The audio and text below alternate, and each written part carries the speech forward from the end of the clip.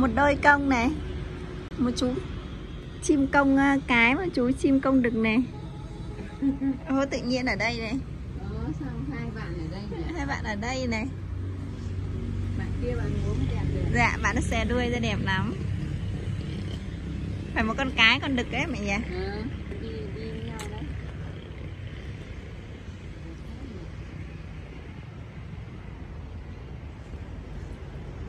công thả như vậy đó.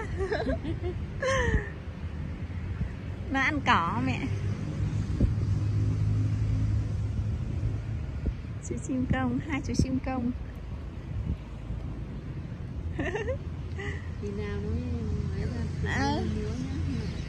dạ.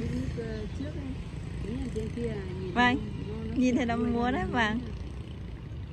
Xoay xoay. Biết lúc nào nó múa.